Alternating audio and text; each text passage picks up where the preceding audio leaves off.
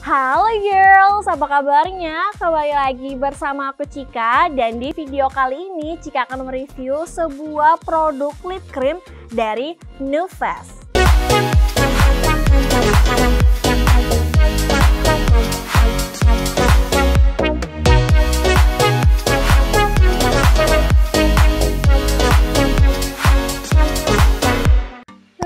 Girls, apa kabarnya nih? Semoga kamu dan keluarga sehat selalu ya.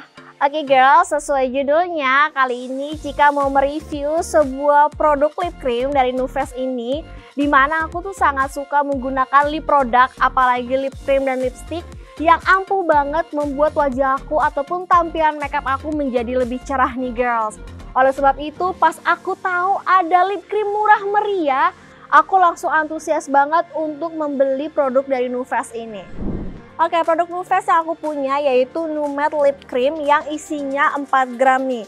Di sini Cika belum membuka sama sekali karena nanti kita akan melihat bareng-bareng, kita akan nge-react bareng-bareng gimana hasilnya. Tapi sebelum aku pakai seperti biasa, Cika akan membahas dari sisi packagingnya terlebih dahulu. Untuk packagingnya menurut aku ini girly banget loh girls. Kenapa? Karena ini full perpaduan warna pink dan juga hijau toska. Selain itu di bagian sini ada uh, bolongan ya untuk melihat uh, shade-nya itu warna apa.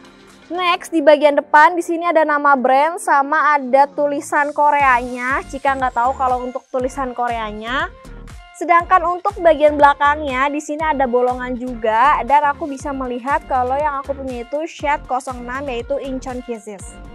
Oke, kalau kita bahas dari sisi sampingnya, di sini banyak banget klaim yang mereka jelaskan dan yang paling mereka highlight adalah kalau produk ini benar-benar melembabkan bibir dan juga waterproof. Katanya ya girls ya.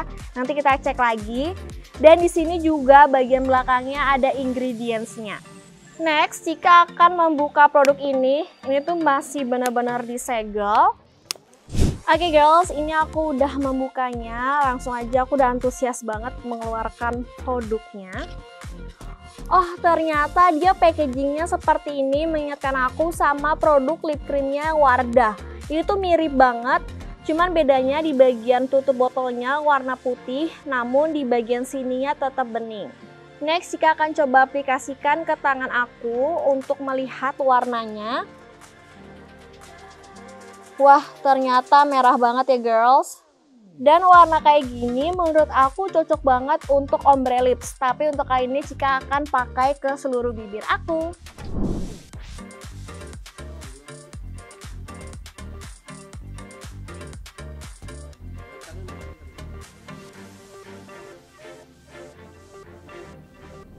Oke okay girls, kalau kamu lihat ini bibir aku kenapa kayak pakai lip tint ya atau seakan-akan aku lagi ombre lips ya.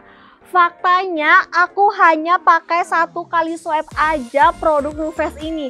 Jadi tadi aku iseng baru pakai sekali pas aku ratain hasilnya seperti ombre lips. Wah buat kamu apalagi yang suka Korean looks gampang banget nih tinggal pakai produk ini meskipun warnanya merah tapi tetap terlihat natural. Oke, apa sih yang Cika rasain ketika menggunakan produk ini? Yang pertama, mereka ngeklaim kalau ini tuh bener-bener ekstra melembabkan bibir kita dan juga mengandung vitamin E. Maybe kalau vitamin E-nya bisa jadi benar ya girls, namun ketika aku rasain ternyata dia ini nggak terlalu melembabkan, cenderung seperti aku menggunakan lipstick yang udah pasti membuat bibir aku menjadi kering. Tidak hanya itu, untuk satu kali pemakaian, aku sih kurang ngerasa kalau produk ini bisa nge-cover bibir aku yang kering. Cuman jika mau coba apakah dua kali pakai benar-benar nge-cover, Ternyata untuk dua kali pemakaian ini tetap aja masih membuat bibir aku menjadi lebih kering. Oke okay girls, sedikit tips dari aku ketika pakai produk ini harus hati-hati juga ya. Kenapa? Karena tadi ketika aku aplikasikan ke bibir dan aku ratain seperti ini, ternyata ada beberapa sedikit produk ya yang menempel di gigi aku. Jadi buat kamu mungkin yang lagi jalan sama gebetan harus diperhatikan dulu nih. Nah hal terakhir yang aku rasakan ketika aku menggunakan produk ini yaitu dia ternyata cukup ringan di bibir meskipun tetap bibir aku terasa lebih kering. Overall, aku suka banget menggunakan produk ini meskipun aku sedikit bingung. Kenapa? Karena biasanya lip cream itu bisa melembabkan bibir kita dua kali lipat daripada menggunakan lipstick. Tapi ternyata yang aku rasakan ini tidak terlalu melembabkan. Dan mereka juga ngeklaim kalau produk ini ternyata transfer proof. Kita cek dulu. Ternyata di bagian punggung tangan aku dia ada yang menempel tapi skala 1 sampai 10 hanya satu saja. Nah, buat kamu yang udah penasaran berapa sih kah harga produk dari Nuves ini, apalagi ketika satu kali pemakaian aja langsung kayak ombre lips. Ya, produk yang satu ini hanya dibanderol dengan harga Rp28.600. Wah, kira-kira kamu tertarik nggak nih girls menggunakan produk ini? Atau mungkin kamu punya rekomendasi lainnya? Yuk tulis di kolom komentar ya. Dan seperti biasa ketika Cika mereview sebuah produk rasanya kurang afdol ya kalau aku ngasih bintangnya. Jadi dari bintang 1 sampai 5 aku akan kasih bintang 5 alias sempurna. Dan kalau kamu suka video ini maka jangan lupa ya girls untuk klik tombol like, subscribe, komen, komen apa saja seputar fashion and beauty. Jangan lupa juga untuk share ke teman-teman kamu kalau video ini sangat informatif. Sampai jumpa di video Cika selanjutnya ya. Dadah!